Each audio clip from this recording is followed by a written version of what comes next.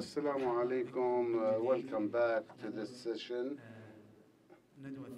This is uh, the second uh, session today, which is about regional dynamics and inter-GCC relations uh, as part of the international third international conference uh, of uh, the Oh, this conference held by Arab Center for Research and Policy Studies, many people ask what are our options, what are our position, what are we in this region of Arab that is full of problems and trouble. What will the world lose if all the Arab and Islamic countries uh, would disappear suddenly? Is it really, uh, difficult to say nothing uh, or just to say this is part of uh, the norms of life in a world that can no longer answer the urgent questions at the time that there are religious uh, extremism, uh, economic uh, collapse uh, that is leading some people to schizophrenia and some of them to despair and others to extremism and terrorism. Is there any rational uh, explanation of what's happening up in the Arab world? Uh, democracy and uh, freedom is are changing into uh, tyranny and uh, uh, people are either between two uh, difficulties in life uh, and the deviation of the revolution, the return of tyranny, the emergence of Daesh, Al Qaeda, Hezbollah, and uh, the long is, the list is long. The main question is are we still to see worse than this, and will the future bring more surprises uh, to the Arab world? I am not optimistic by nature, but I am also not. Uh, I'm not pessimistic by nature, but I'm also not optimistic about the future of the Arab region. This session uh, cannot claim that it will answer all questions, but it will discuss the challenges met by the GCC countries in the regional context, uh, and will spe- speak about uh, the following topics the uh, forgotten Arabs in the Gulf, the Turkish uh, Arab relations, the Qatar case, and the Twitter's impact on political dialogue. We'll begin with the first paper, which will be presented by Dr. Mariam Rashid Al Khater which will be about the Twitter's impact on political dialogue in the Arab Gulf states. Dr. Mariam uh, is Deputy Director General of the Doha Center for Freedom of Media. She is a well-known writer in the media and member of the Committee of Alliances of Civilizations and is member of the Board of Directors of Al Jazeera Channel and Al Jazeera Children. Mm, She is also specialized in media international relations and has an editorial article and, and, and has uh, obtained her PhD, her master's degree from Washington, D.C., and is now preparing her doctorate uh, in Britain. I give her the floor.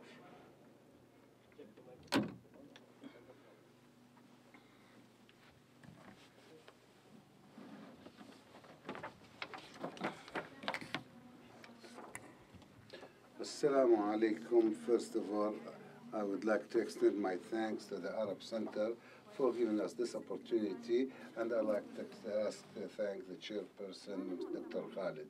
The title of this conference is about GCC countries, uh, politics and economics in the light of regional international shifts and changes and uh, within the political economic con- uh, context. So we are going to speak about the Twitter impact on political dialogue in the Arab uh, Gulf states, uh, because Twitter and its other similar channels represented the, the big changes in democratizations of the nations and in finding free tribunes for free uh, speech and uh, of expression. Twitter, if you want to, if we want to, uh, the, uh, if you want to define it, we can say it's a bird, or we can say it's 140 characters or figures. It is a challenge that has imposed itself on conventional media and on the, the culture of politics in the society. If the conventional media is the son of governments, the, the social media, including Twitter, is the, uh, the troublemaking son of uh, the media. We all know that Twitter uh, is a result of technological leap that has led to a lot of improvements in the use and the spread of the use of the usage of social media in the Arab world. This uh, changes in technology were also accompanied by political changes that affected the usage of Twitter. The Arab uh, uh, Gulf and uh, peoples uh, have uh, been affected by Twitter and and uh, such a way that there is a big expansion using Twitter in the GCC countries because uh, Twitter has uh, changed the media uh, landscape from the conventional one, uh, from polarization to uh, multipolarism, and, and, and making media a tool in the hands of the peoples, not uh, the, the hands of the governments. Uh, So that's why we see that has led to unprecedented uh, revolution, popular revolution called uh, the uh, virtual streets revolution, which has affected the politics of the countries. My research will uh, speak about the uh, usage of uh, the Twitter and its uh, effects on the political changes and the, and the effects of Twitter on the Arab in practicing and uh, freedoms and the effect of that on the media and then how uh, we would focus on the Arab GCC countries and the phenomena that have encouraged the appearance of these uh, characteristics of Twitter. And you also speak of the, the, the perspectives, whether positive or the negative uh, results or achievements made by uh, Twitter. We will be speaking about uh, the effects of Twitter on the inter-GCC relations uh, and the reactions of the governments on this. Uh, the research was based on a hypothesis that the uh, social communication uh, media uh, channels have affected a lot the political uh, uh, um, landscape in the, especially in the GCC countries, because this uh, kind of media, the new media, has challenged the conventional uh, media, especially with the youth people who represent 70% of the population of the Arab world, and they are the dynamics of the social media and leading it. So the media challenge also was represented by the social media and led to some mobilization campaigns uh, and has uh, represented a sort of coup in, uh, from uh, pluralism to uh, the, multipolarism. And this represents a, a political uh, transformation because politics and, and uh, media are one and the same and they are intermingled and Twitter has led to changes in the society on political level and social level uh, and and uh, this was uh, all as a, as a result of the uh, Arab Spring to 2011 and has also had its effect on the governments uh, on the of official levels and diplomatic relations between the GCC countries. To well understand the, the effects of Twitter, we see this uh, statistics on the on the screen, which shows you the usage of Twitter and of internet in the Arab world and the GCC countries. But here we are only focused on Twitter. The, Twitter has been used in Arab by six million persons, and this is by the latest uh, uh, statistics. Uh, uh, by, made by the Dubai College for Government Administration and says that uh, uh, Twitter is one of the, uh, most largely used uh, blogging uh, tribune. As uh, using of uh, the Twitter in the Arab uh, Gulf, we find that the Gulf uh, countries are at the, on the head of the usage uh, of- those the activists. The Saudi Arabia uh, is the largest one, two, 2.5 uh, uh, million people are using them, and the act, uh, and the activists are even more than. Then Kuwait and then Egypt. Uh, Jumhur, uh, whereas uh, keep in mind that uh, the population of uh, Egypt is uh, uh, is, uh, uh, is very much larger than the other countries, and uh, Saudi Arabia is also at the top, uh, is uh, even more uh, has more usage than uh, even countries like uh, Indonesia, and this and so we can see that uh, Saudi Arabia is, is the usage of Twitter is more than any country in the world, and, uh, and fact, uh, the usage of uh, Twitter in all the Arab countries compared to the GCC countries, we find that GCC countries exceed them all, and even the broadband has encouraged that, uh, and uh, cell phones, of course, of course, everybody in uh, the Gulf area has uh, one handset or at least two uh, handsets. Did Twitter affect or has effects on the social movement in the GCC countries, the political movement also? This is based on the hypothesis of our research because I studied the previous uh, historical events and can say that yes, uh, the, the activists of uh, the Gulf have used Twitter as a means and a tool for social and political changes and as a means of uh, popular mobilization to call people for protests in the streets, not only in Bahrain, in which uh, the hashtag, uh, ha- it's hashtag uh, with Bahrain in 2011 was the, the highest and biggest, but also in the other Gulf states, the calls for Twitter in specific days to go to the streets, but that not, was not achieved. There's also the Twitter, for every action there's a reaction. So if you want to know what is the effect of the Twitter on the governments, we see that the governments dealt with Twitter in a way trying to to uh, control Twitter and affect the, users uh, because of the political uh, uh, turbulence that they, they led to because uh, the, the governments of the, the GCC countries were afraid uh, that this might lead to instability.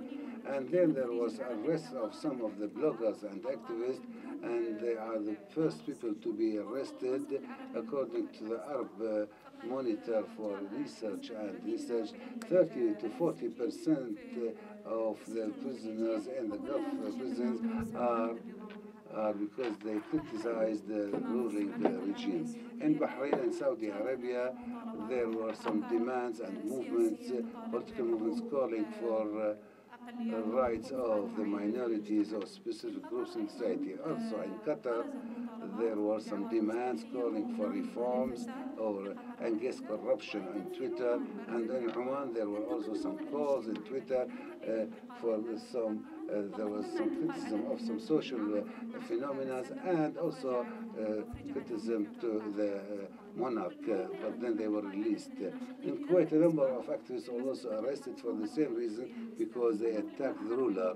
Also in the, the, the Emirates, the there is a complaint that there's a low percentage of usage of Twitter by the people because the people are afraid to, to be accused of being member of Islamic movements. Human Rights Watch has condemned Bahrain, Kuwait, and the Emirates uh, and Saudi Arabia because the arrests they made.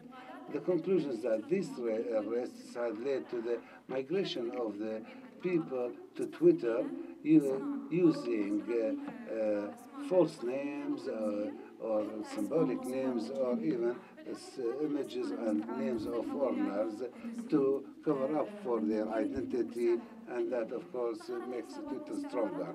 And there were many accounts with the unknown names that were uh, linked to some people who are part of the ruling family and they wanted to uh, criticize their family such as Mujtahid Saudi and Mujtahid Imarat, Mujtahid Kuwait, Mujtahid Qatar as names. On the other direction, the social media uh, channels have become the virtual arenas for revolutions. But if you want to go to the applications of uh, the practical aspects of this uh, research, uh, how does that affect the Gulf movement. Uh, to answer this, I call you to analyze this graphic, uh, which uh, includes the names of the countries that are the, on the top of the list of the hashtags used in the Arab world. what do you notice in this? The Saudi Arabia is the highest on the right. Uh, with, with, two names in Arabic and English, and then Bahrain, Qatar, Emirates, and Kuwait, and Egypt, which has the highest number of hashtags uh, in this analysis. Syria had a setback despite its uh, bloody events. The question is why? The uh, crisis of withdrawal of uh, ambassadors, uh, Saudis and Emirates and Bahrain's ambassadors were drawn, uh, withdrawn from Qatar in March 2014, and this uh, better, best uh, indicator of the usage of Twitter and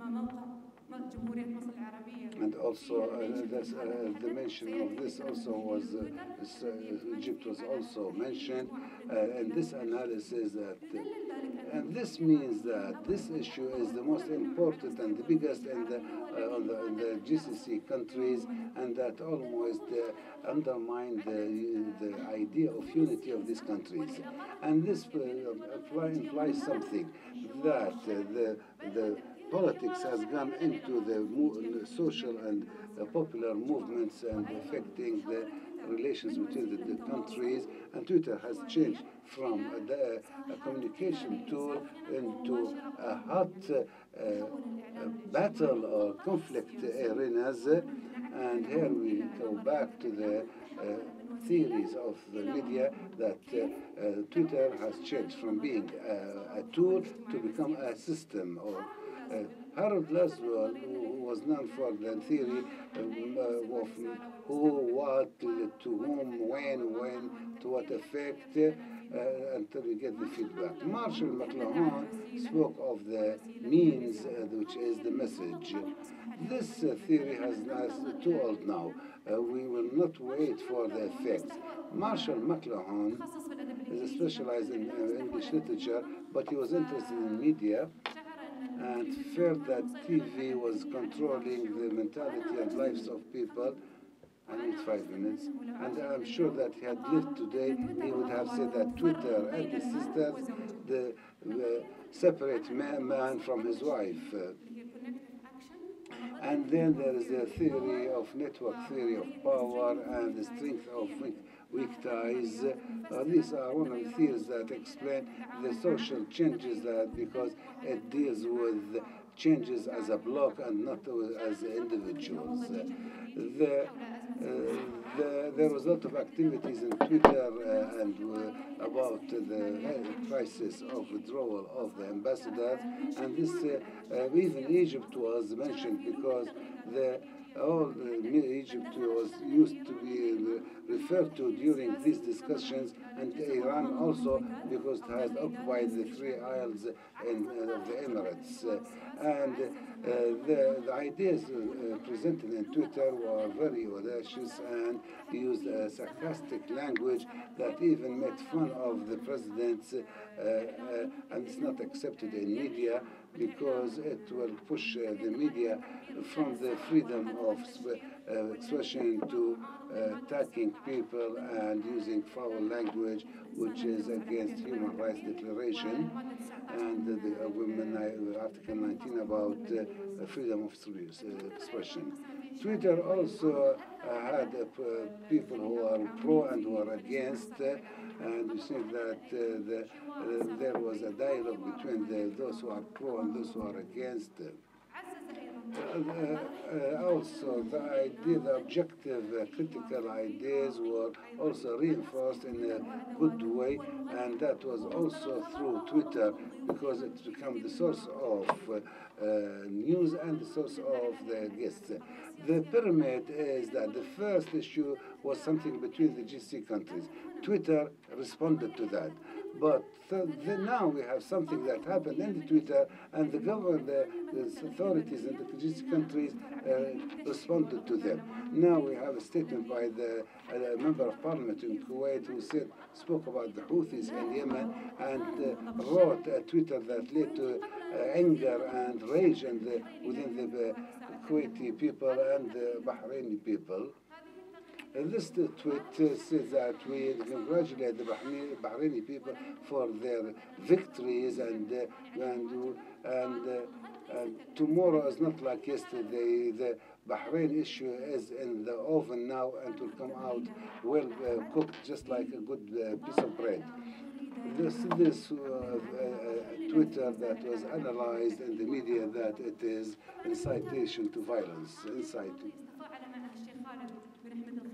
And this led to a reaction from the Minister of Foreign Affairs in Bahrain and said this is bullshit, uh, in fact, and, and uh, so there were demands from the people, from, of the Kuwaiti people, calling for uh, uh, holding this person accountable. So the conclusion, Twitter opens the doors for political dialogue and also become a tool to send political messages and to uh, comment on uh, local issues.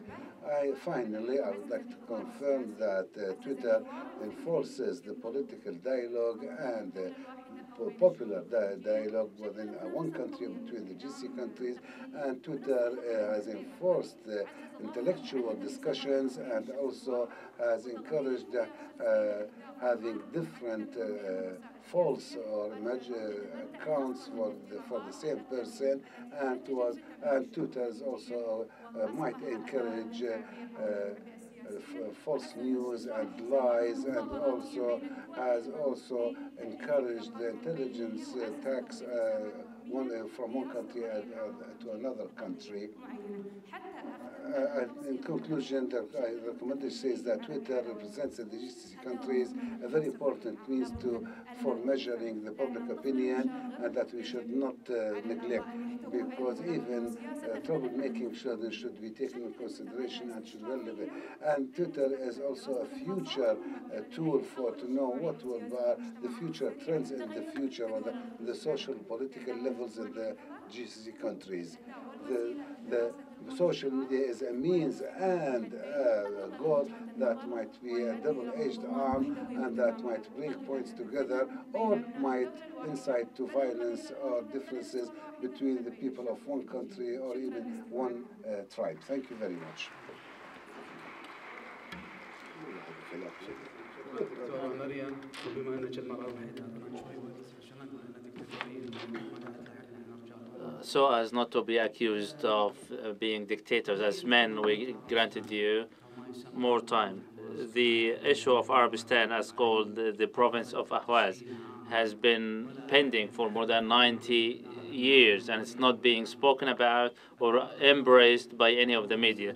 The following paper will address the issue of Ahwaz or Arabistan by Dr. Muhammad Al Misfer, who is professor of uh, uh, polit- politics uh, political studies in the University of, of Qatar. He had a number of research and studies in the Arab uh, domain. He is also contributing to the Arab and Qatari newspaper.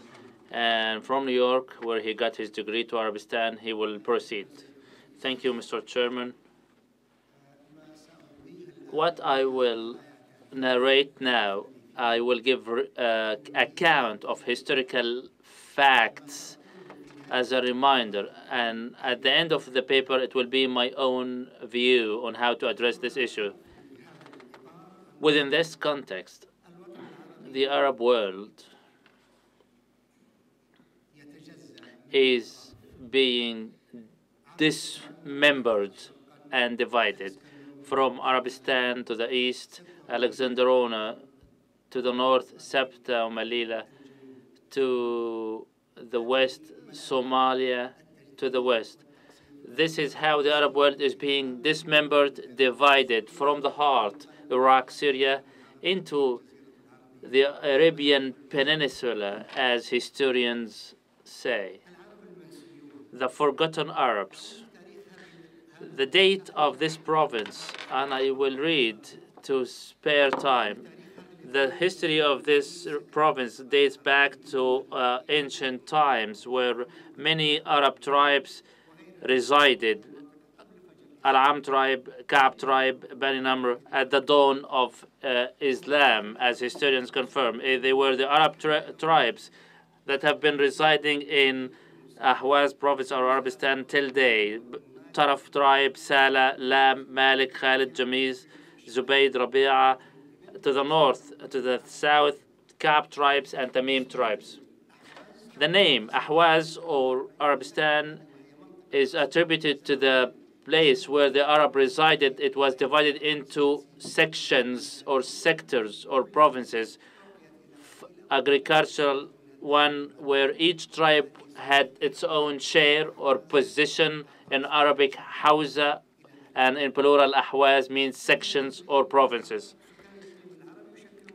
The Arabs make up the majority till date, despite the forcible displacement into Iran.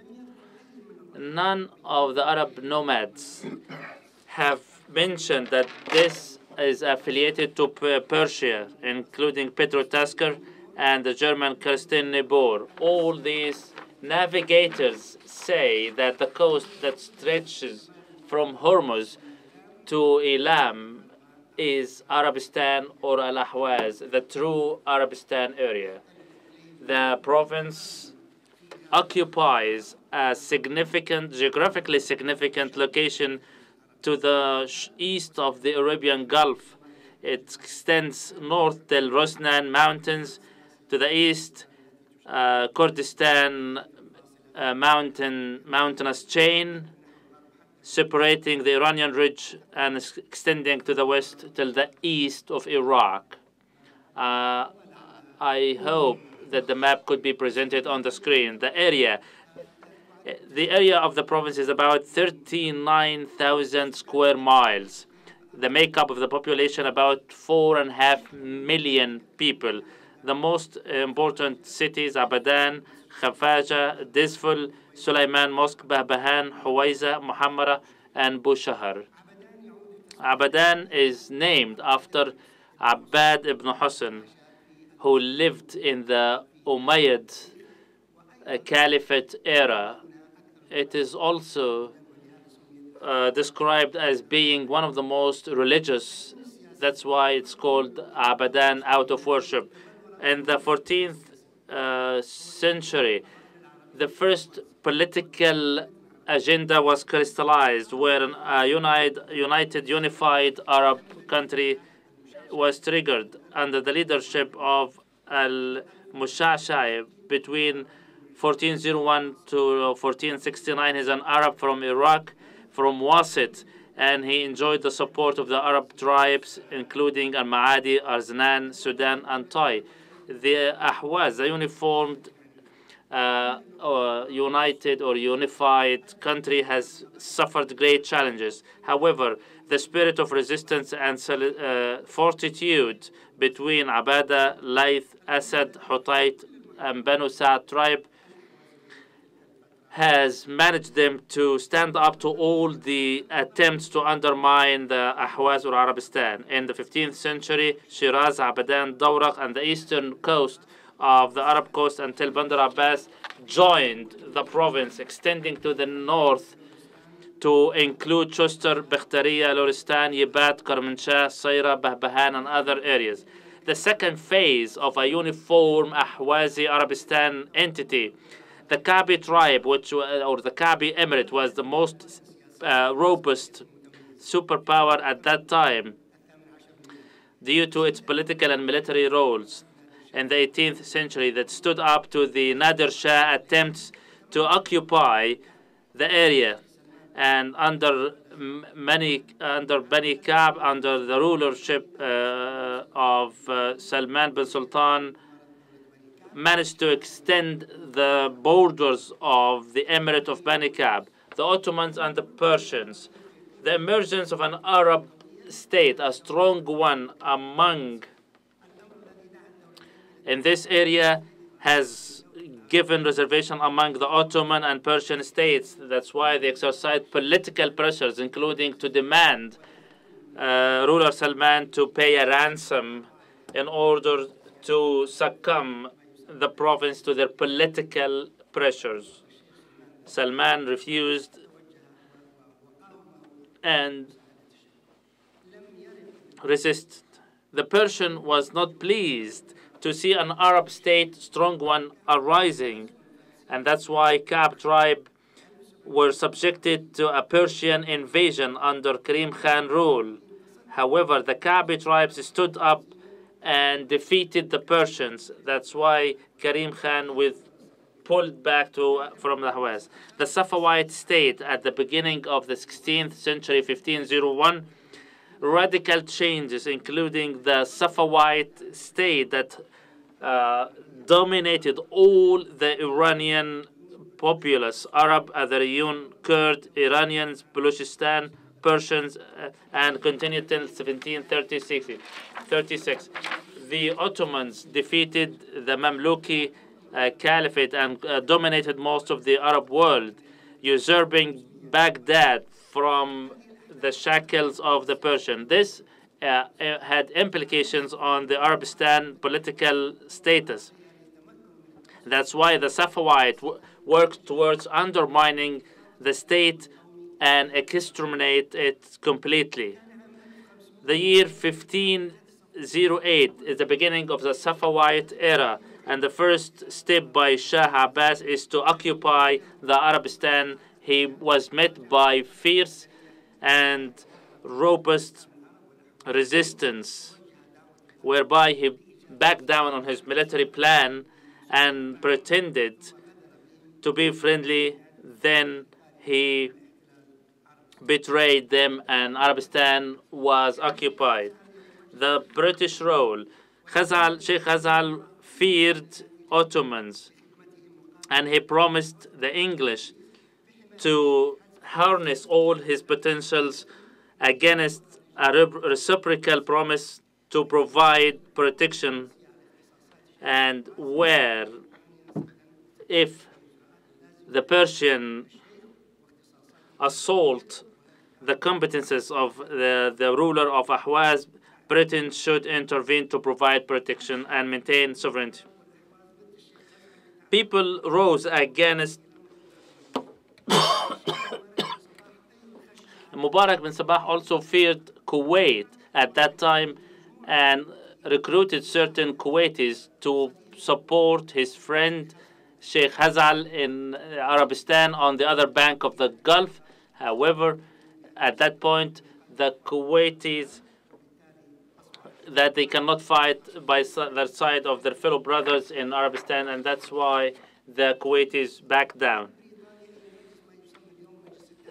Britain called for what's called today the GCC. In January 1915, Lord Hartken called the Arab rulers in the Gulf in a conference to be held in Kuwait. Abdulaziz bin Saud, uh, the Prince of Ahsa, Sheikh, Sheikh Khazal, the Prince of Arabistan, Sheikh Isa bin Khalifa, of, uh, ruler of Bahrain, Taimur bin Faisal, uh, Prince of Muscat, and also Prince of Kuwait, Mubarak bin Sabah. Then he demanded that those rulers should convene to support uh, uh, Al-Ashraf uh, in their struggle against the Ottomans and also to provide protection. And history is repeated.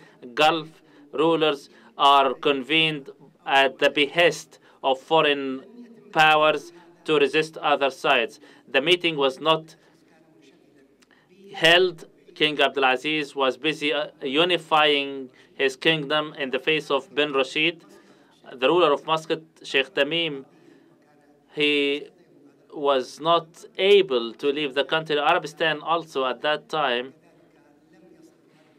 and only uh, Sheikh, the ruler of Bahrain, was present. The British conspiracy in 1914, Britain recognized officially recognized the independence of Arabistan or Al Ahwaz, and Mr. Cox provided the uh, document of recognition to Sheikh Khazal, reiterating that Britain will provide protection to the Arabistan and provide military support following First uh, the World War One.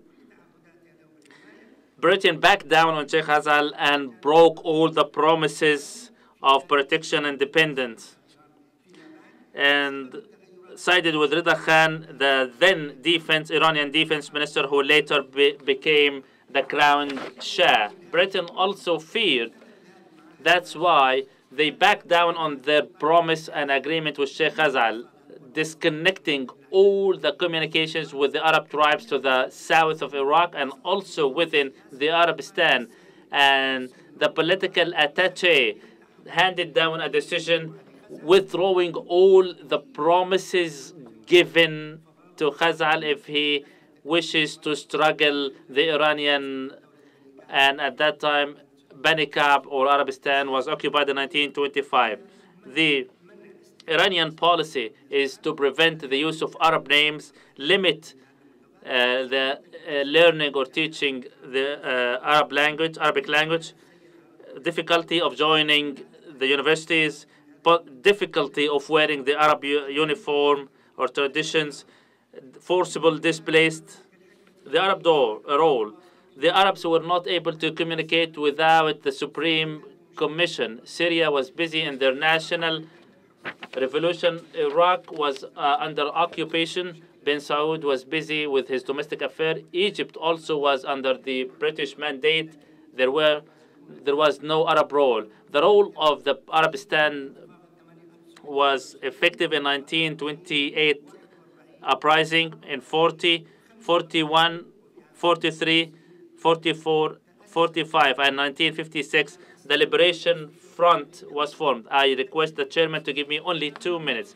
In 1964, the issue of Arabistan was listed on the Arab League agenda. However, this item was including that it will be included in the curriculum and textbook of all the member states. However, this action was not put into existence. Iraq, Iran, and the United States, we are aware that they are not able or willing to see a strong, robust country in the Arabistan province. That's why Britain broke its promises and sided with Rida, Shah Rida Khan. Arab, uh, Arabistan was occupied. The same applied to Iraq. They uh, backed Iraq and, uh, and even backed Iran against Iraq. Even Israel did.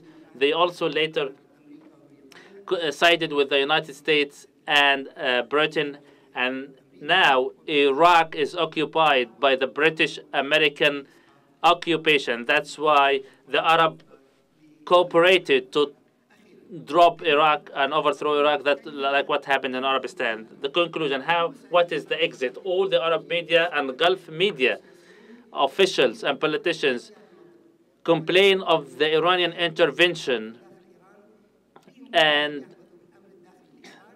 despite the fact that they can undermine and the Iranian national security like what they are doing in other Arab countries.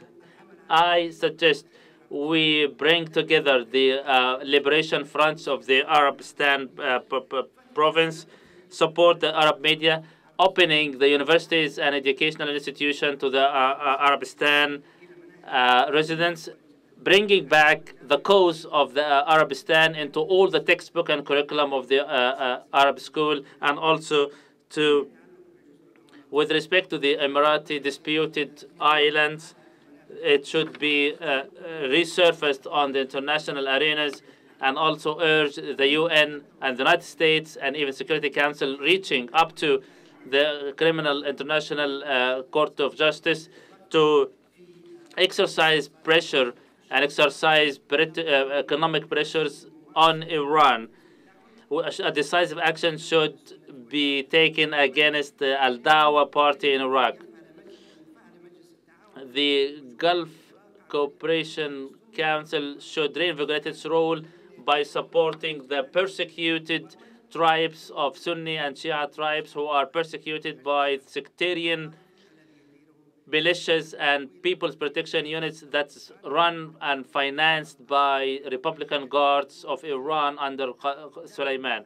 The Gulf countries also support the non-normalization of relations with al-Dawa parties unless all the political of conscience are released, constitution set up, democratic order set up in pluralism that is not subjected to the Iranian influence. Thank you very much. And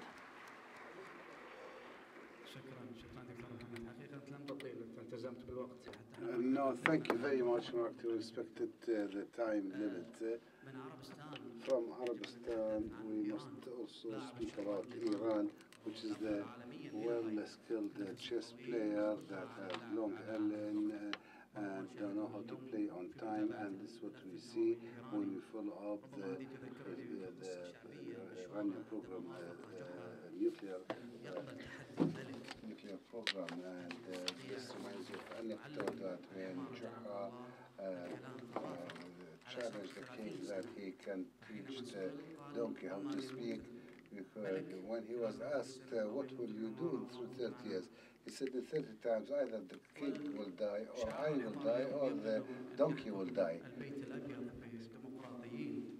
So now um, the, the, uh, the, symbol of donkey is now of the democracy in USA and they are ruling Anyhow, the third paper is about uh, the effect of Oman-Iranian relations on GCC interaction, presented by Dr. Ahmed Al-Ismaili, who is advisor of the Minister of Religious Affairs. He's a researcher of religious affairs and social justice.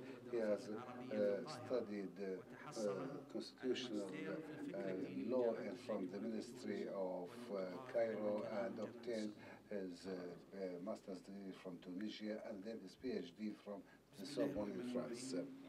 In the name of God, the most merciful, the most compassionate, in the beginning, I would like to extend my thanks to the Arab Center for Research and Policy Studies for the big effort they are, it is making for the success of this work, of this conference. I'd also to extend my thanks to the state of Qatar, this uh, state that has always and for more than 10 years uh, been calling and helping and supporting research centers, and so it deserves all our thanks and appreciation.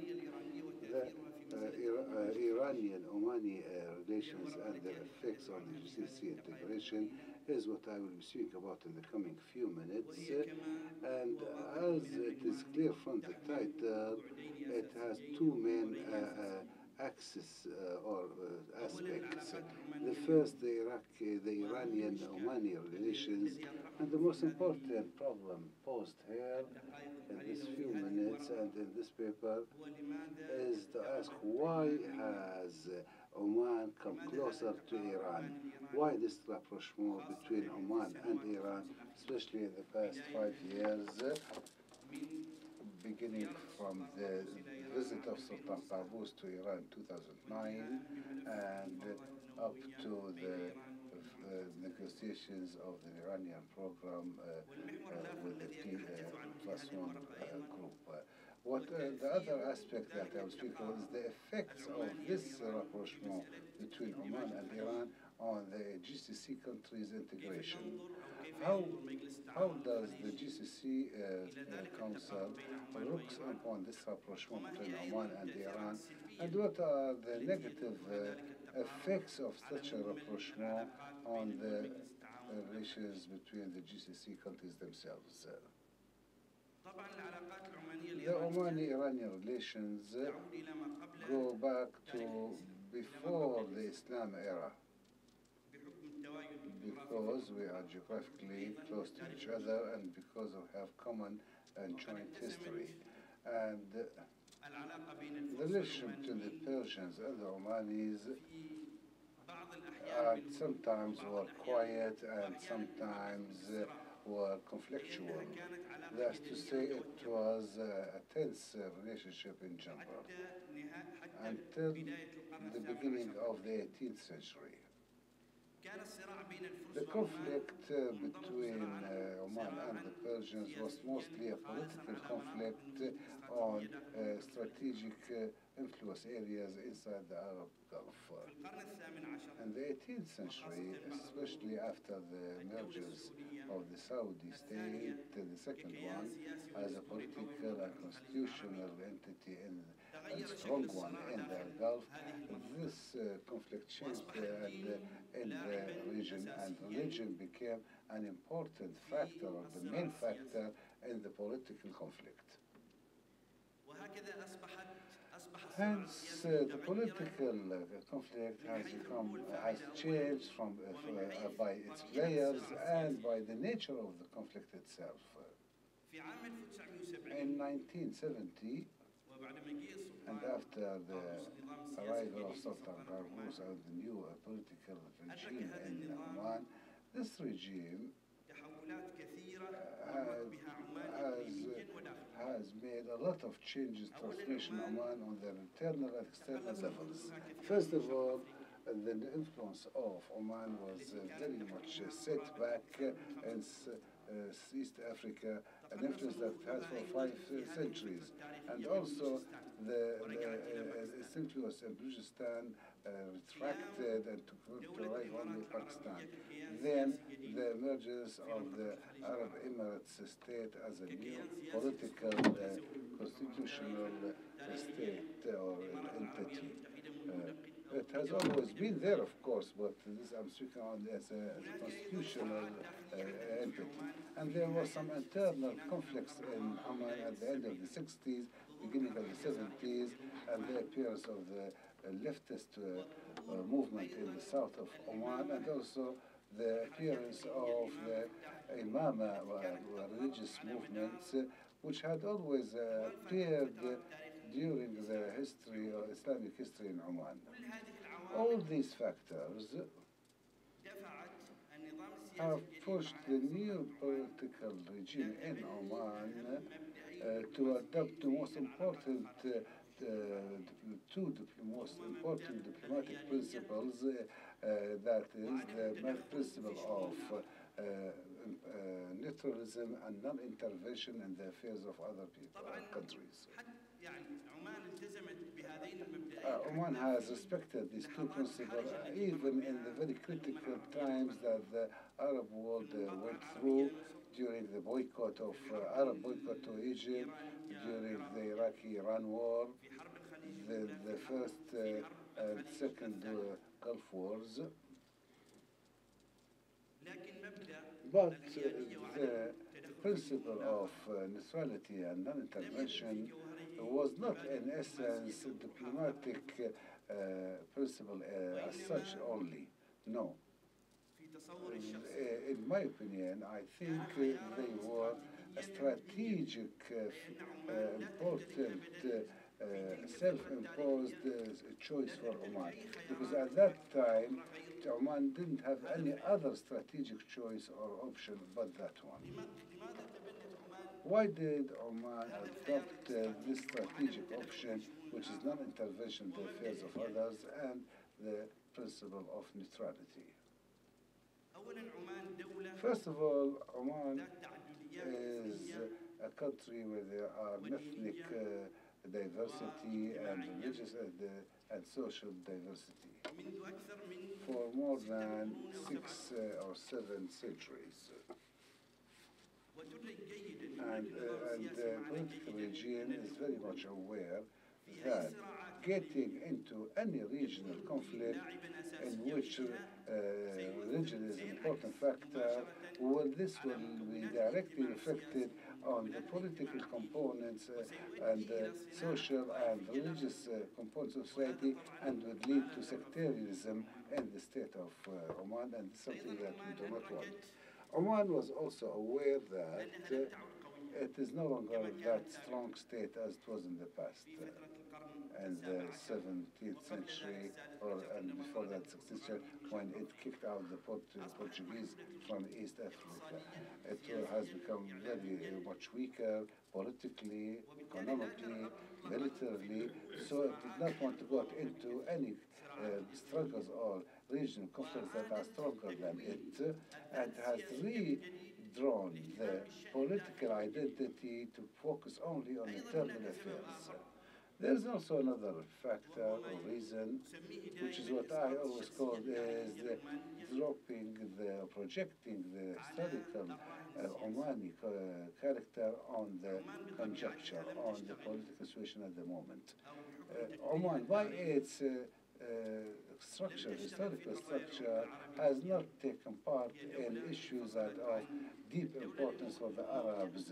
It was part, it is a, a state that, uh, uh, uh, that uh, got away from the Umayyad and the Abbasid states and uh, uh, focused on East Africa and the Indian Ocean. This historical background uh, was the main reason in Oman's adopting this principle of neutrality and non-intervention, and in a way that Oman can always move this card in his hands and make use of it whenever it wishes to do so. I will pass over this historical aspect. Uh, the visit made by Sultan Qaboos in 2009 was the second visit of the Sultan, or the first the, the, the era of the Republic of Iran. The first visit before that was at the time of the Shah. It was, it was an empire. Then he also visited Iran in 2013. Between these two visits, uh, or these five past years, uh, there has been an Iranian Omani rapprochement that is uh, significant, but only on two issues, which are the issue of the hostages and that of the nuclear uh, negotiations between Iran and 5 plus 1. Uh, Oman played as a uh, role of mediator in these two issues. In the first issue, Oman succeeded in a, to a large extent in the issue of hostages. That's between 2009 2013. And the second issue is still about to succeed, about to be finished. Why has Iran, why has uh, Oman got closer to uh, Iran the past five years, and why has played an important role in about these issues that are related to the relations between Iran and the West? Oman, of course, uh, Oman had uh, uh, focused its diplomacy, basing its movements on some constants uh, of solid constants and coexistence that must uh, prevail in GCC countries, not only between uh, the Gulf countries only, but all the countries in that region. This moral thesis or bases are correct and the political thinking in Oman uh, speaks about this uh, since 1973. It's not something new. We believe that these reasons are not substantial in the rapprochement, rapprochement between uh, Oman and Iran. There are more substantial factors compared to this. First, we all agree with Dr. Khalid that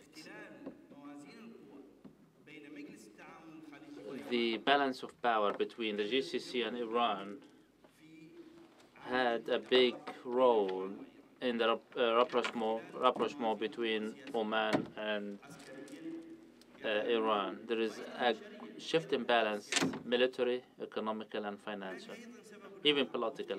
There is another factor, which is the imbalance of power within the GCC members. There is a dominion between that varies, and the harmony is absent. Is absent among the GCC members. Another or a third factor is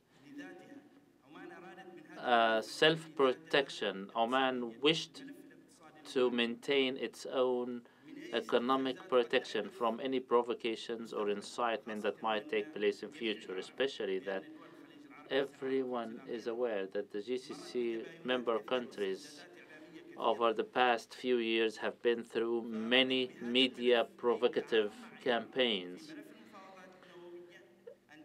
It wished to open an economic chapter on uh, Al Arab Sea through the negotiations with Iran. It also wished to prevent itself from the repercussions of collapse of the domestic fabric.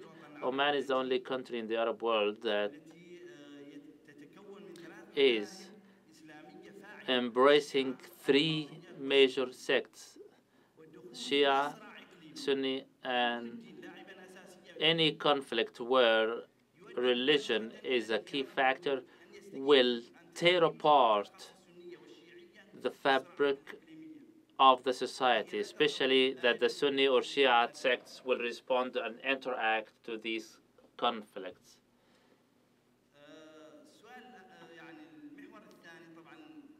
The, as we are running out of time, is about what is the impact of the Iranian-Omani rapprochement on the GCC integration.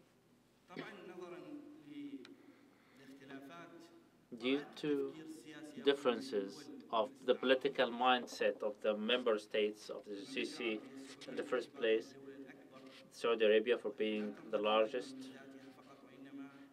and especially that it is not acting out of its own, yet due to its historical background and heavy weight, they are thinking differently, largely from Oman, who are mainly concerned with the domestic fabric. Three factors. Sultanate, Sultanate of Oman, I personally believe over the past five years, Oman cannot accept to engage any confederal union.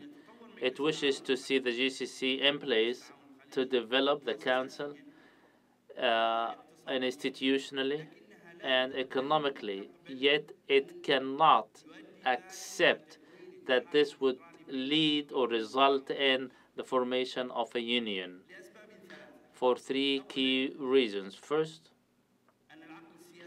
the political mindset in Oman still respects the historical character of Oman, being not totally melting with the Arab order, even in the League of Arab States as an entity. Second is the GCC or the Gulf Cooperation Council is usually built built on trust and confidence. And this cannot be in harmony with the political reality. Third, and to me, this is the key difference between Oman and Saudi Arabia, is the formation of a confederal union among the council members will cause Oman or uh, Oman to abandon neutrality or cause Saudi Arabia to abandon the Arab world, and this is really very difficult. To respect my timing, thank you very much. It is really an exciting paper, outstanding one. We wish to hear you more when we open the floor for questions, and I believe you will raise controversy. From Iran to Turkey. Spill, exporting crisis to conflicts, Kurds, Greece, Bulgaria, Syria, Iraq, Egypt, Israel, Europe, Russia, United States, and key GCC key players. What is the nature of relations with Turkey? And a paper will be addressed by Dr. Bülent Aras, who is a global fellow of the International Institute, also senior researcher and coordinator of Conflict Resolution Council in Istanbul. He is also professor of literature and social arts in Turkey. University of Turkey served as head of research, obtained PhD from university in Turkey. We give him the floor.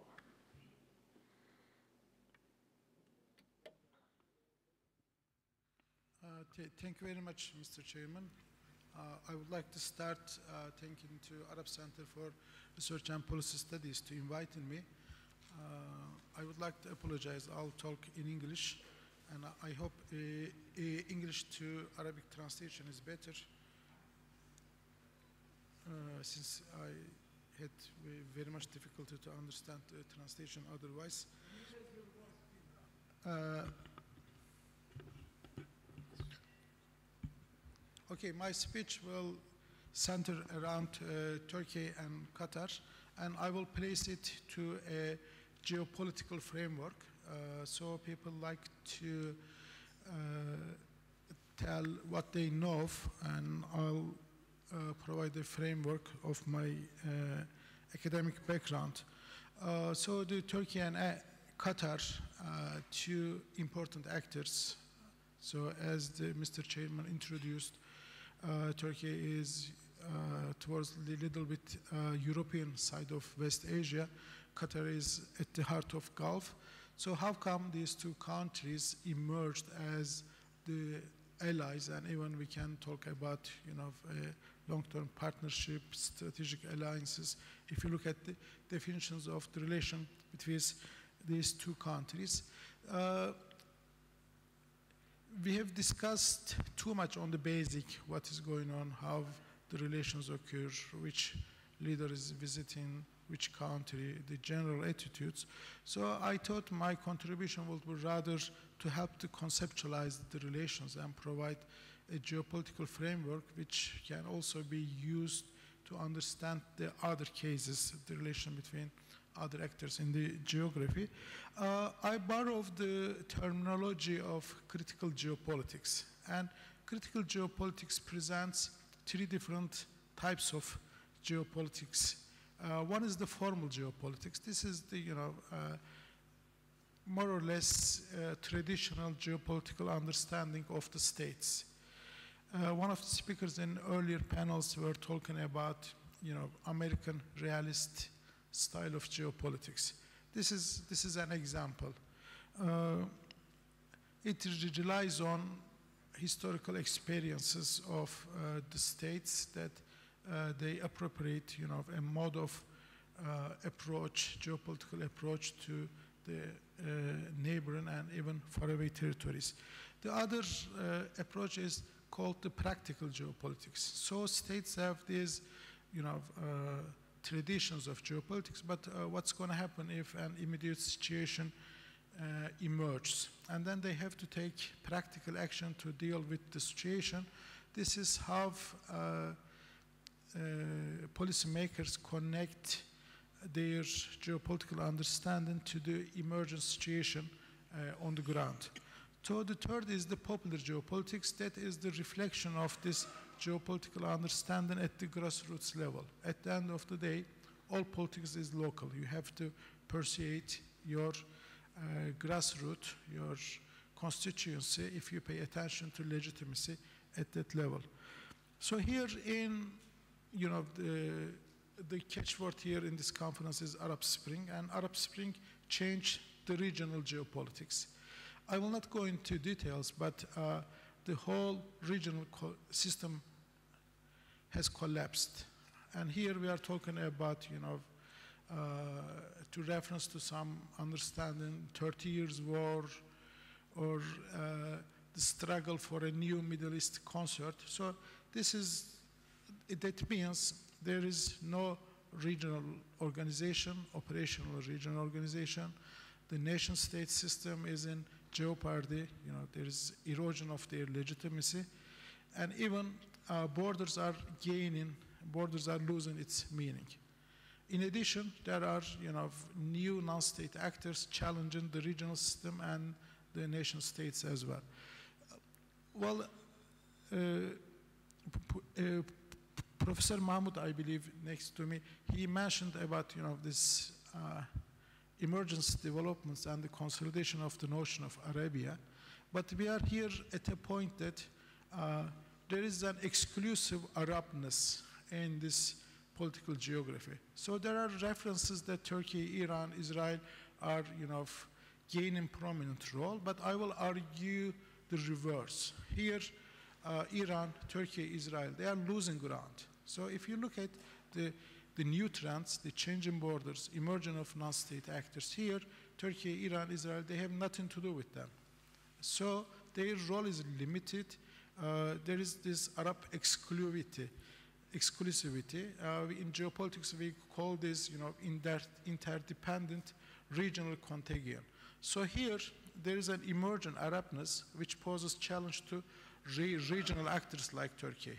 Here, they, you know, uh, they are under influence of what is going on in this Arab interdependent contagion, but they lost their room to maneuver within this Arab interdependent contagion. So here, uh, Turkey and Qatar, uh, vis-a-vis -vis Arab Spring, developed uh, their own geopolitical reasoning.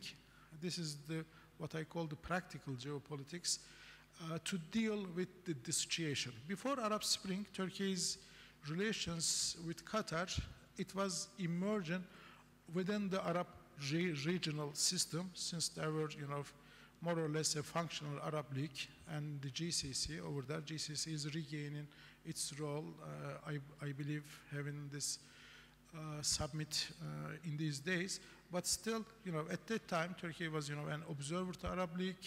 The, it was developing, you know, a kind of strategic alliance with the GCC, and then Qatar was a prominent actor within this framework that Turkey was approaching, and the, the relations were occurring. But after the Arab Spring, there is no more uh, a possibility for uh, such a framework.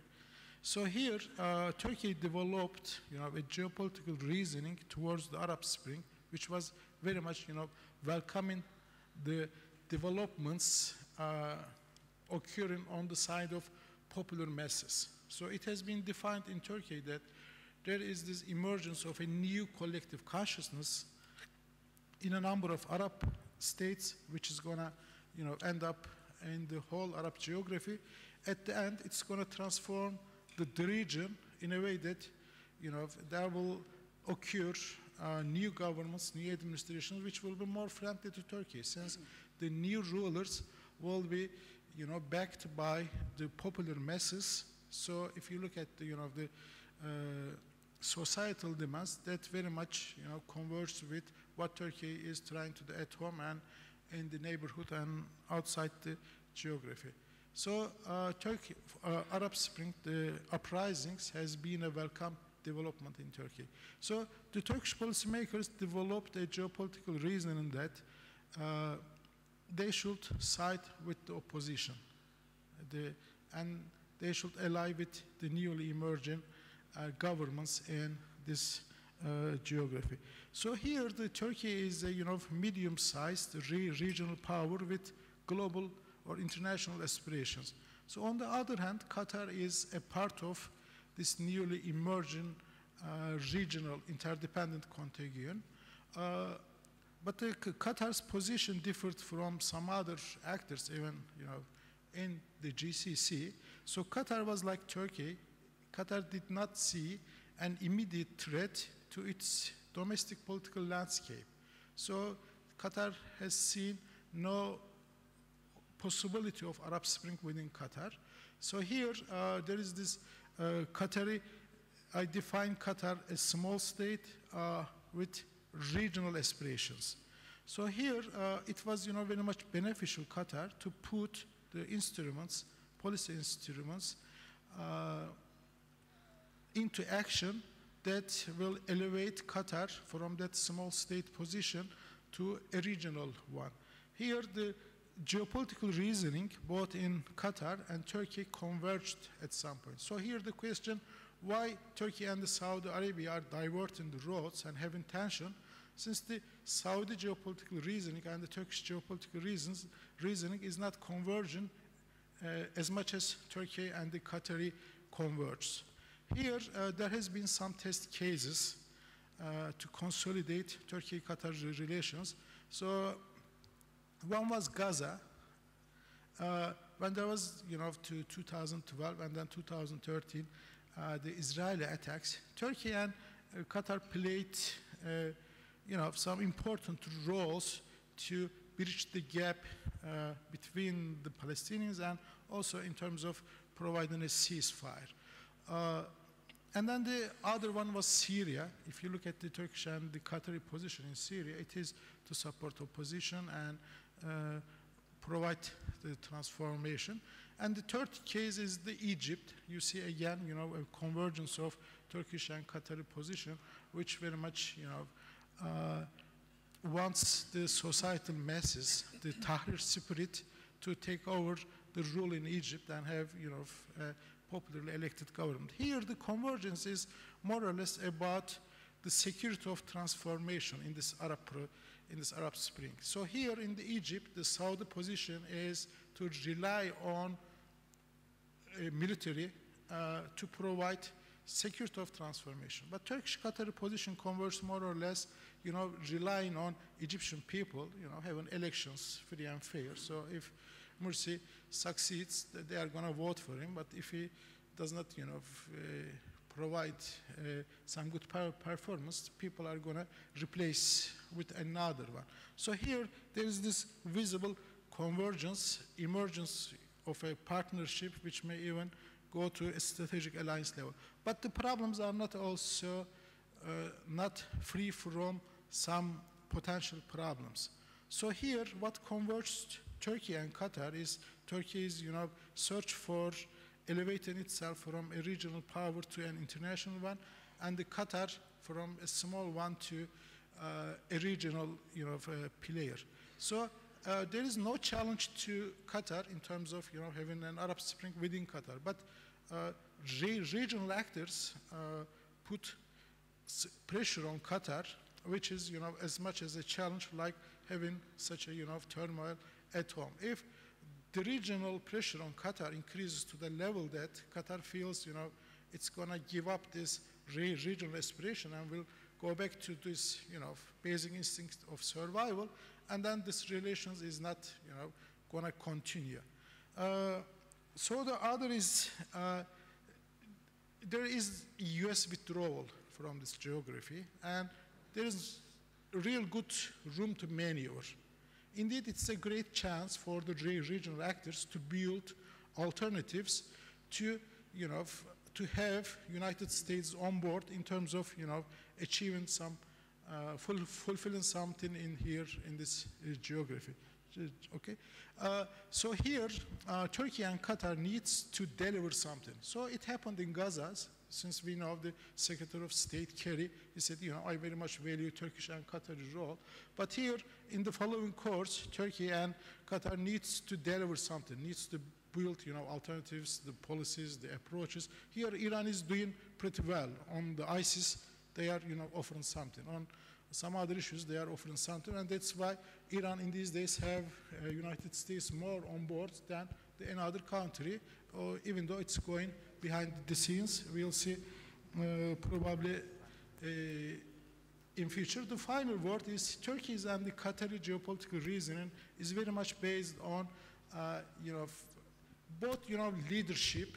They put forward that they have ethical positions toward the Arab Spring. But here there is a gap between always ethical position and the political uh, positions towards the issues. For example, what to do with ISIL, so what to do with the uh, Egyptian government. So uh, there is a trust that, you know, the, uh, there may be change, but it is still over there.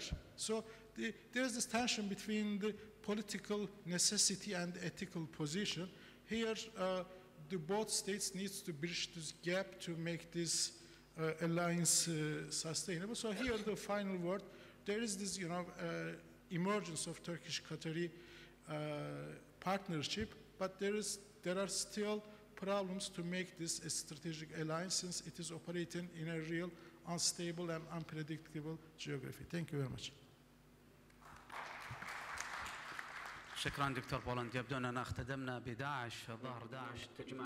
It seems that ISIL brings us together. We have very little time. We want to make best use by your questions, but please, uh, you must be short. We cannot have more than two minutes. I give the floor to Mr. Dr. Dhafar Al-Ajmi. I have received uh, Dr. Maryam, thank you very much. Been, uh, uh, I hope that you won't give you more than uh, more than time, uh, and uh, I would have uh, liked uh, to have more uh, talk about Qatar, uh, where we had a lot of use of Twitter. Uh, Dr. Misfer, as usual, uh, Ahwaz uh, was there, but not the Ahwazis themselves.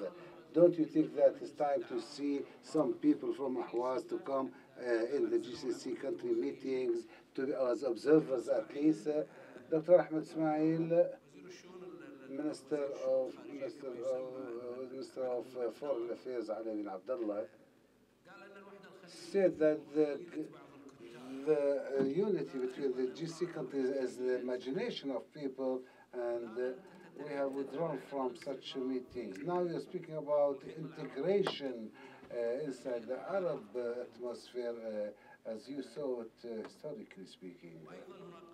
There's also the issue of the rapprochement between Iran and USA, which and, and Oman had played a role in this. The other thing is that I did not attend any Gulf uh, meeting the, uh, unless with uh, Omani presence.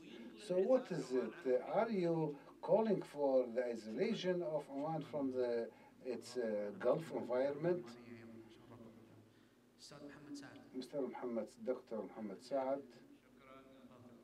Thank you, Dr. Khalid.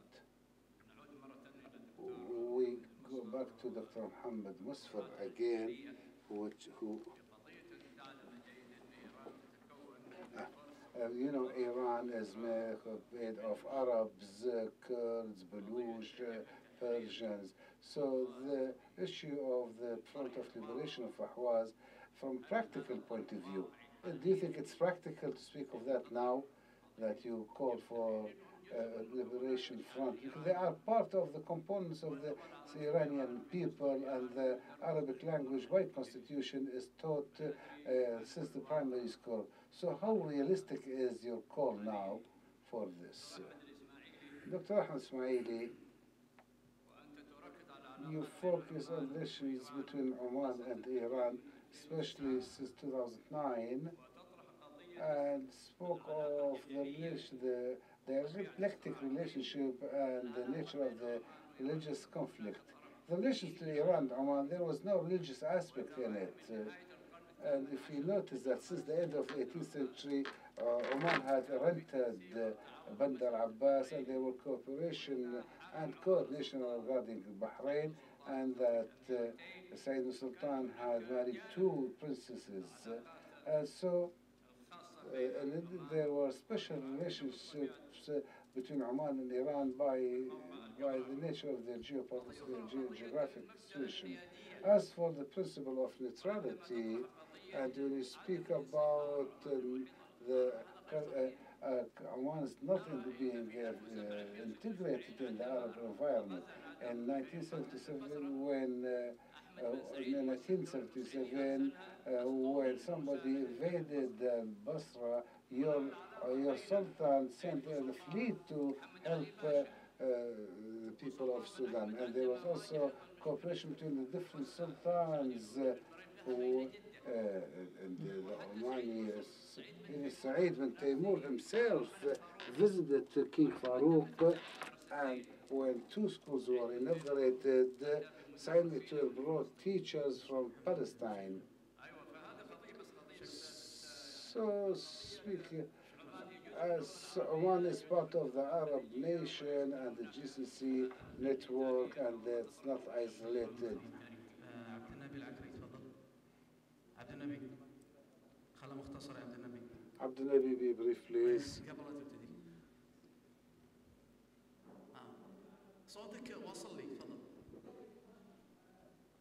cannot hear him.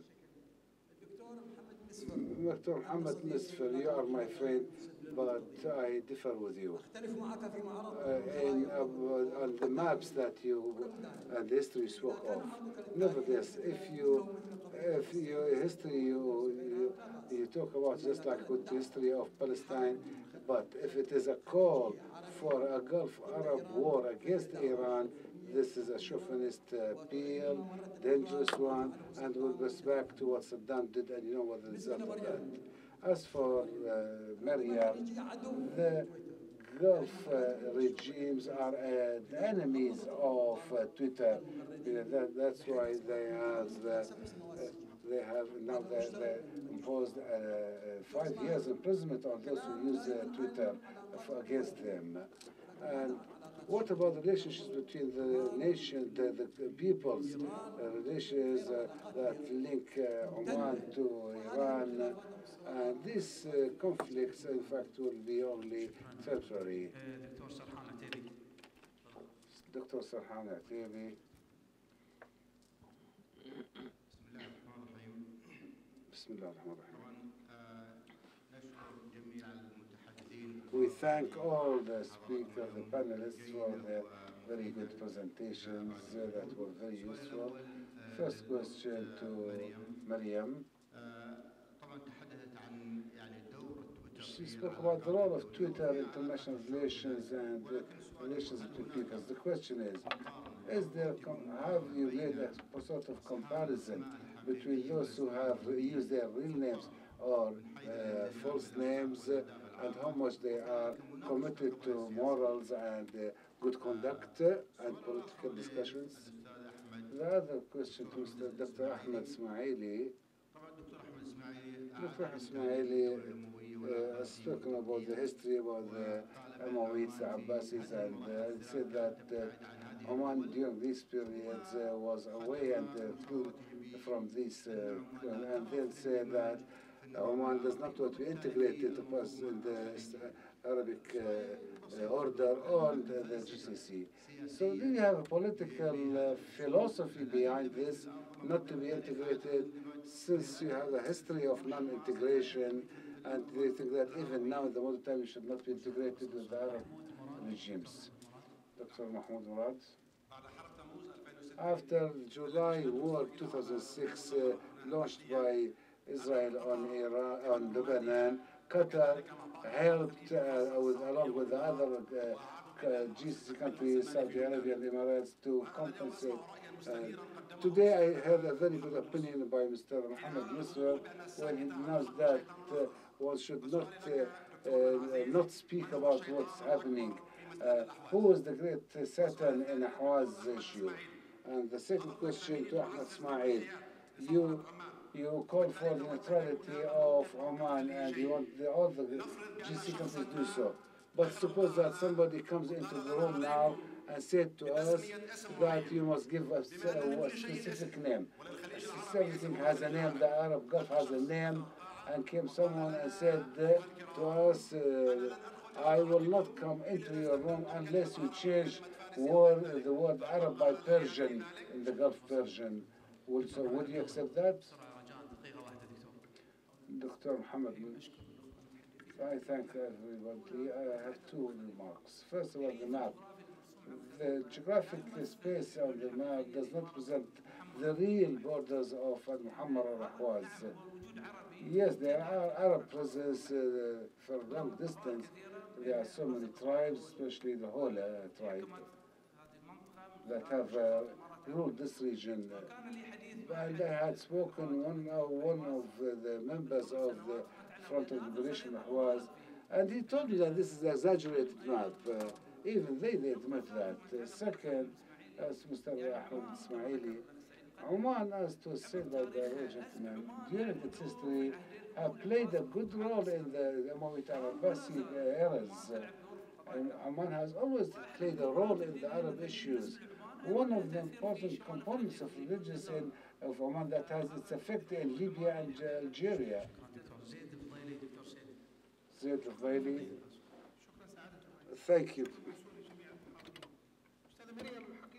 We thank all the speakers. Dr. Maryam, you addressed a very important issue, and I was honored to preside the cultural program on the Book Fair 2014, and we organized a seminar on this issue. Rumehi said if had Hosni Mubarak read this book, he would not have been toppled. I would say, had the rulers of the Gulf been reading what's been written in books and on Twitter, they would have benefited a lot. The issue of Ahwaz is, uh, from the political point of view, I agree with Dr. Muqaddam, especially we speak about multiple ethnicities within Iran. Will this apply later in Iraq with respect to the Kurds? Second, what to what degree the sectarian dimension have an impact in the Ahwaz or the Arabistan as Turkey and Qatar? The rapprochement between Qatar, with all respect, it is a GCC member,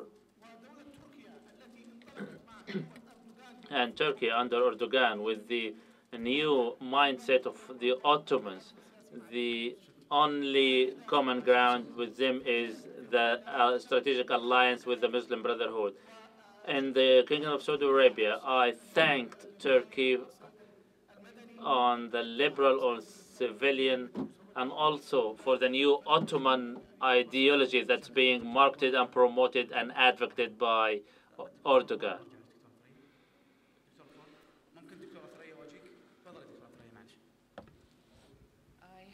Question to our Turkish friend here. I see three dimensions playing in every relationship or position, locally or regionally.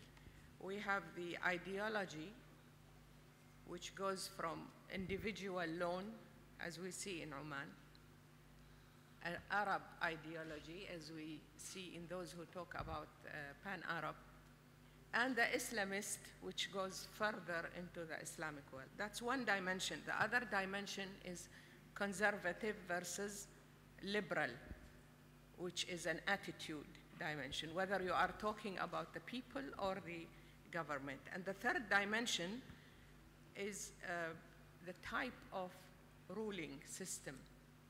Is it centralized or is it democratic? Thank you. Now, when we go to Turkey, and I'm a frequent visitor of Istanbul, I like it very much. Uh, I like it too. I see, I cannot really put my finger on how it is going, following what Erdogan, you know, says today or tomorrow or yesterday. Um, I would like to know whether, you know, by focusing on reading the history and our relationships rather than f- focusing on the fluid, fluidity, the change that happens and, and affects the attitudes of decisions taken. شكرا شكرا دكتورة وصلت الثلاث How is دكتور the أنطوان. Turkish? دكتور أنطوان تفضل شكرا سيد الرئيس الحقيقة هناك Thank you, Mr. President. I would like to comment on all the exciting papers. However, I will uh, direct question to Mr. Aras. It is reported, widely reported in the Arab world, uh, comments say that Turkey are refraining from playing a rationalizing role in Egypt following the revolution and uh, supporting Morsi regime have exacerbated the situation and caused more deterioration, causing divorce between the political uh, Islamist uh, tide and the liberals in general, which we can name as a counter-revolution. Also, the Turkish uh, Saudi rapprochement on Syria was a disaster and catastrophic on the Syrian revolution. How do you comment on this? We'll start by Miriam uh, commenting on Twitter. Thank you, Mr. Chairman. With Twitter and the paper, I was very systematic and I had an approach for all the tweets on the withdrawal of ambassadors, even some comments which are very obscene, where reflecting the inferiority of the discourse uh, has been abbreviated by uh, F word in English, which is an obscene taboo, and the Arab Likud. As Dr. Dafer mentioned, the Qatari tweets are present, analyzing, and they are present in the paper as the paper approached all the tweets and none was excluded simply for the statistic and breakdown of the information in all the scientific approach used in analysis. The Gulf uh, rulers are enemies to Twitter. As a matter of fact, uh, if we apply what is being said on the freedom of speech, we find that rulers are enemies to any attack or criticism. However, if the tweets are uh, turns into a platform for defamation, libel, and slander, then the government have the right to exercise have a right to exercise to protect themselves from the legal perspective and the as applicable not only in the Gulf countries but in the world countries. Analyzing the tweets and uh, anon anonymous, uh, we found that some of them were uh, advertised under taswiq or marketing, and the tweet is a prayer. He is promoting one idea, one video, or other tweets. This explains that the anonymous uh, names were also included in the paper. Well, the future will uh, witness more approach more towards Iran. Thank, we thank all those who commented or raised questions. The integration between Oman and the Arab world from the political indications, not the social. Even from the historical perspective, integration between Oman and the Arab world, not only the GCC, Oman throughout history, since the second Hijri century, has been independent from the central Islamic State. Now, Oman is not willing to promote its hist history. Uh, Oman has never been concerned, historically speaking, with the in-depth Arab causes. It went far east of Africa, overseas, Balochistan, Bandar Abbas. The political indications to the principle of integrity is clear through the diplomatic principles in Oman. The principle of neutrality and non-intervention in other affairs is reinforcing the same independence of the Omani character. With respect to the Dr. Muhammad, I did not claim that the religion was a key factor in the uh, in Oman. Oman cannot manipulate religion as a key player. It will have certain implications on the fabric. It will dismember, disconnect, and divide the fabric, uh, which is made up of multiple ethnicities and sects. Well, Qatar, uh, is there a convention in Turkey? Well, there are a couple of questions, but the uh, conversion point, I guess, uh, what is Turkey's role in Egypt? Well, Turkey's stance has been read outside as the pro-Morsi kind of understanding prevails, but, but the Turkey's position is more pro-Tahrir, more pro-revolution in Egypt. So here, you know, whoever they choose, Turkey is gonna support. But, but they need to choose. They need to give a chance to choose their leaders. So here Turkey is, you know, the Turkish transformation is an interesting transformation, but, but Turkey is more democratic, more, you know, uh, focusing or keeping uh, that uh, a cultural background. Uh, so here, uh, what Turkey tries to do to, you know, to develop a moderate, you know, Muslim democratic state, which is in peace with its own society, uh, but it, it, it doing it, you know, uh, in a very problematic geography. Also here in, in Turkey, Turkey is not a perfect democracy, but it is more democratic in comparison to 10, 10 years earlier, previous decade. So the Turkey is facing problems at home in terms of democratization, societal peace, etc. But, but Turkey reflects in its foreign policy. So Turkey likes to see in Syria what he tries to do at home. This is the major difference, you know, with the Saudi position and the Iranian position towards those countries. It's very much like Iran likes to see in Syria what they have in Iran. So this is not the Turkish position. There is, was, there is this di divergence. So Qatar is a GCC member. Uh, we acknowledge it. We like GCC to be very operational, powerful organization. We need a system. We need a concert here. And it is better through Arab League and the GCC. But here we don't see it. You know, up to one month ago, there were no uh, GCC ambassadors here. So you are going to have a summit, but no ambassadors. And, and thanks God, there are ambassadors.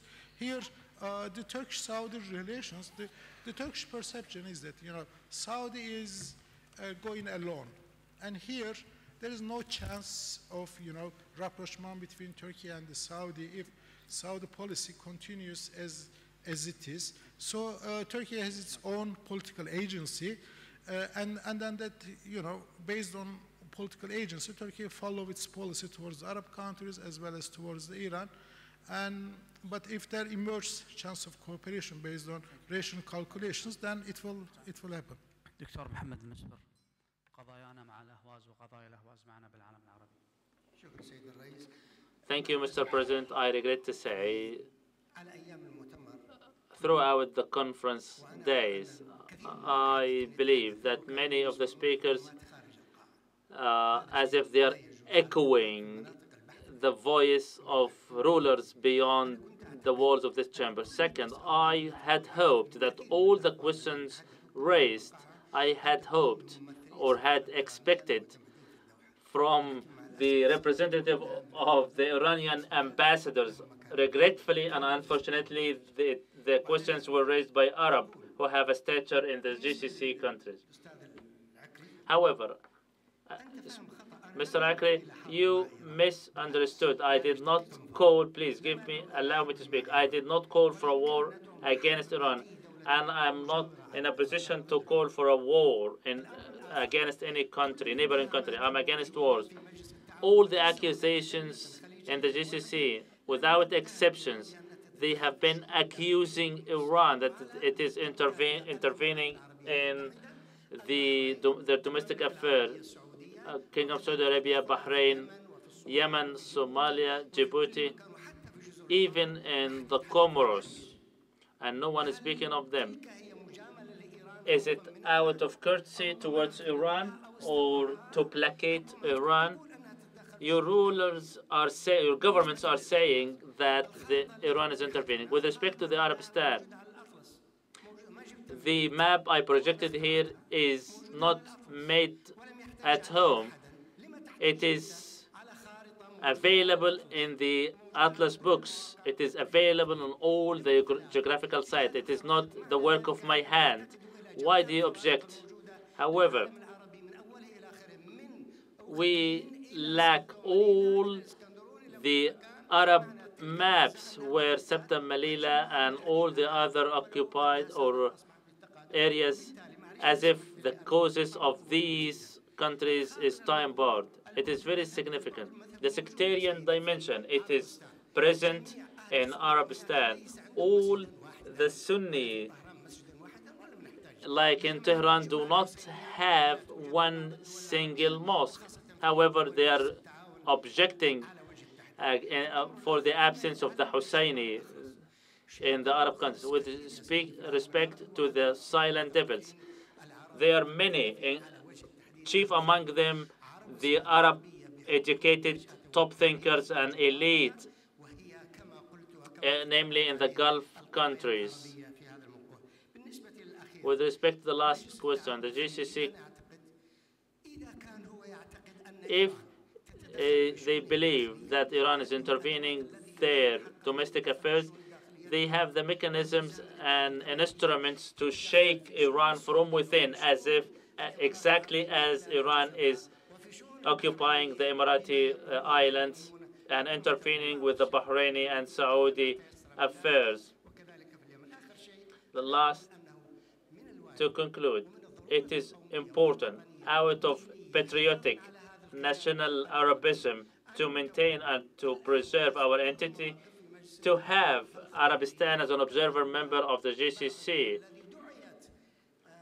like some of the countries. Ahmadinejad himself was invited to the uh, Gulf Council meetings.